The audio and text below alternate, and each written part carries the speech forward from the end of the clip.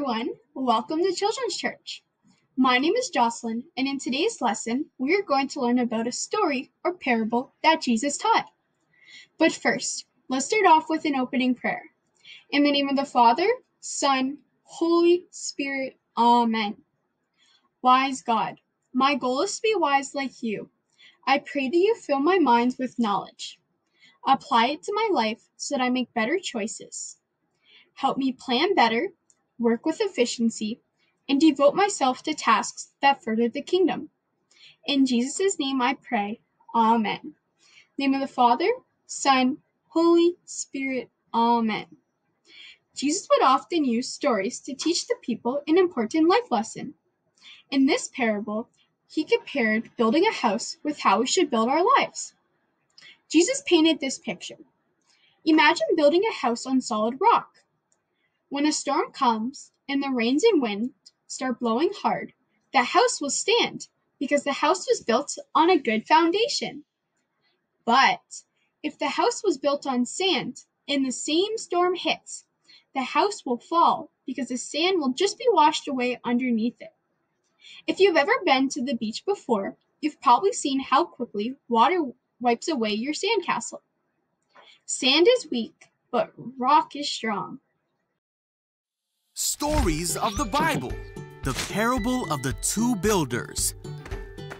This is Jesus. Heyo! Who is the Son of God and the Savior of the world. While Jesus was on earth, he taught everyone about God's love and healed people from their sickness. He did many miracles like walking on water. Oh, hey guys.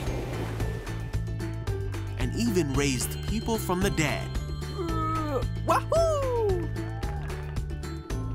One day, as he saw the crowds gathering, Jesus went up to the mountainside and sat down. His disciples gathered around him, and he began to teach them. He asked them, Why do you keep calling me Lord, Lord, when you don't do what I say? Anyone who listens to my teaching and follows it is wise. Hey, I'm gonna build here. Eh, I'm gonna build out there. All right, suit yourself. Like a person who builds a house on solid rock.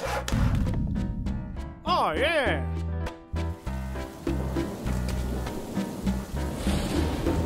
When the floodwaters rise and break against that house, it stands firm because it was well built. All good here. But anyone who hears my teaching and doesn't obey it is foolish. All right, hey, is nice.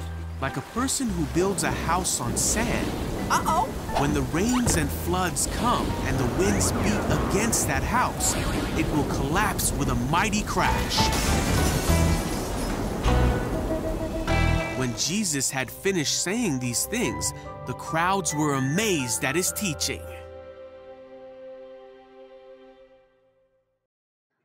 So, the life lesson was about having the right foundation. Jesus was saying that He is the rock, and so is His Word, the Bible. Building our lives on those things will make us strong.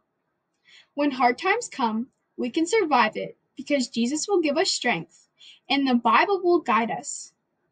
But if we put our trust in worldly things like popularity or stuff, our lives will fall apart when hard times come.